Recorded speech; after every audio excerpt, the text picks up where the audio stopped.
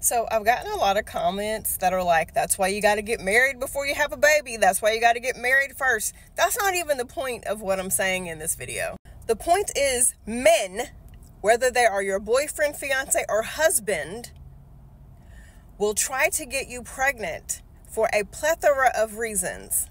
One reason being maybe you have a new friend group and you're going out and you're having a little bit more fun and they don't like the fact that you're going out. Or maybe you already have kids and they don't like the fact that now they're having to take a little bit more responsibility with those kids. So they're going to try to get you pregnant to keep your ass home. Maybe you've gotten a career opportunity or some kind of opportunities that you haven't gotten before that take you out of the home or take your focus off of him or that cause him to have to be more hands-on in the home and with the kids and he don't like that shit so to try to humble you and make that shit stop he's to say let's have another kid maybe you have gone on a weight loss and fitness journey and you're in the best shape of your life and they want to have another baby and I had a few whataboutism people that are like, well, my husband genuinely wants kids, and I'm not talking to you!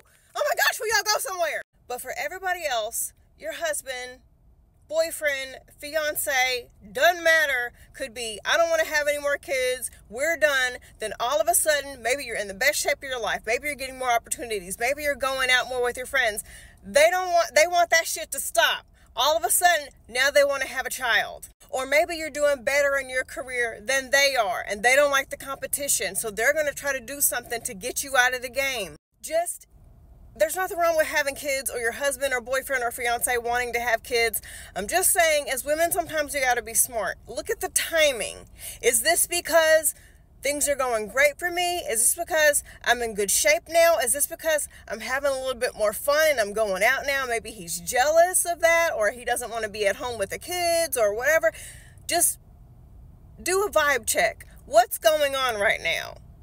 To make him go from point A to point B all of a sudden. Be in love, have your family, do your thing, do what you want with your body, but be smart because these men be menning and it's not always the abusive, you know, toxic ones that do this. At the end of the day, we're talking about men. So it's your nice golden retriever ass husband, your nice sweet boyfriend Josh you know, all of a sudden out of nowhere, they want a baby. Now that you, you know, certain things are popping off for you. So just be mindful about that. Doesn't matter if you're married, in a relationship, engaged, whatever. Men, men be menning.